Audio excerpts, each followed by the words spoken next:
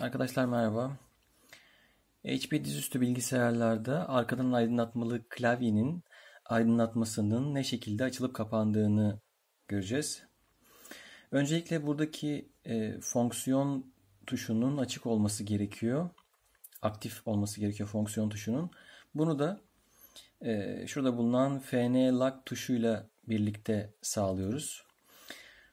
E, FN tuşuna basarak aynı anda FN lock tuşuna bastığımızda FN üzerindeki ışık yanıyor ve e, bu fonksiyon tuşuyla birlikte arka ışık simgesine basarak ışık kademelerini kendinize göre ayarlayabiliyorsunuz. Ee, bazı modellerde F5, F5 tuşunda olabilir. F5 tuşunun üzerinde olabilir.